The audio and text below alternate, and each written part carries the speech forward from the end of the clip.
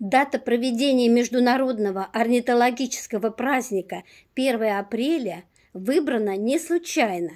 Именно в это время начинается возвращение птиц с юга. Пернатые становятся для нас добрыми вестниками желанной весны и преображения природы. Взрослые и дети с радостью в это время стараются обустроить для них скворечники. Занятие это доступное и благородное. Как сделать и собрать скворечник в домашних условиях, покажет читатель нашей библиотеки Кожухарь Михаил. Здравствуйте! Сейчас я покажу, как практически из отходов э, можно сделать не скворечник, как говорится, а дворец облюбовал себе скворец. Элементарный скворечник. Вот одно важное, один важный момент, чтобы внутренние стеночки были шершавые, потому что птички карабкаются и до литочка. Литочек тоже 50 миллиметров это на скворец, для скворца, а на 40 миллиметров это и скворец, ой, и синичка, воробей, и там много всяких еще птичек у нас. Ну вот, я потихонечку буду собирать. Я здесь сделал заготовочки и рассказывать. Если у птички будет домик, то она может и два, и три раза вывести за лето.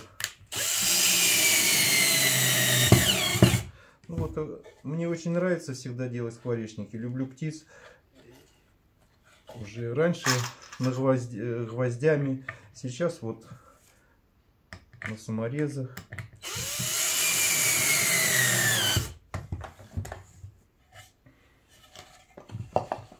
И в школе э, делали скворечники. Акции была «Раскрасить скворечник». И так по деревне у нас висят скворечники. А если ребенок заинтересуется, то это вообще необыкновенно будет.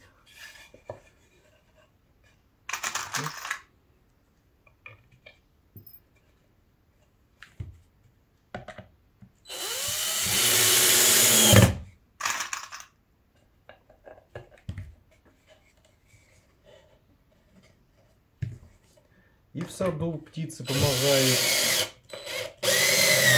Те же синички помогают от насекомых.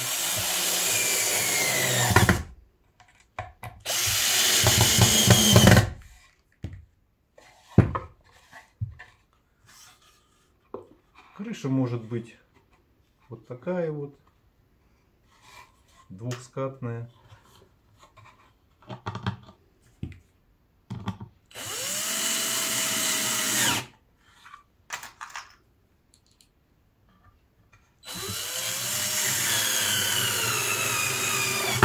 Так выглядит поинтереснее вроде бы.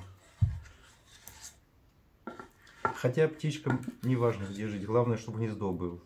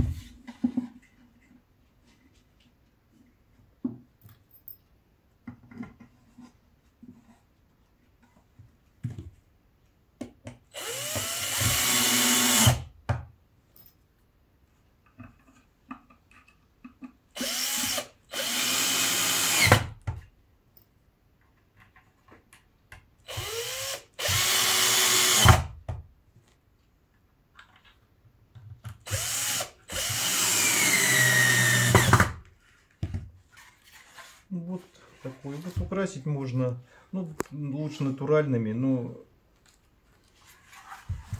вот еще такой вот, вот так вот можно. Ну, птички на это не обращают внимания, а, а, ну, мы люди разумные, красоту любим. Вот так вот. Вот такую присаду.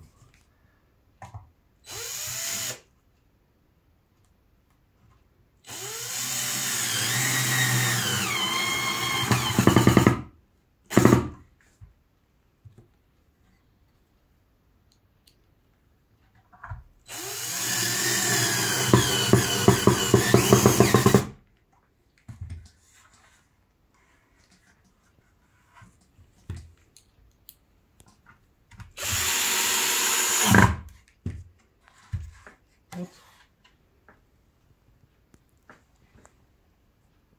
С готовыми заготовками ровным счетом 5 минут.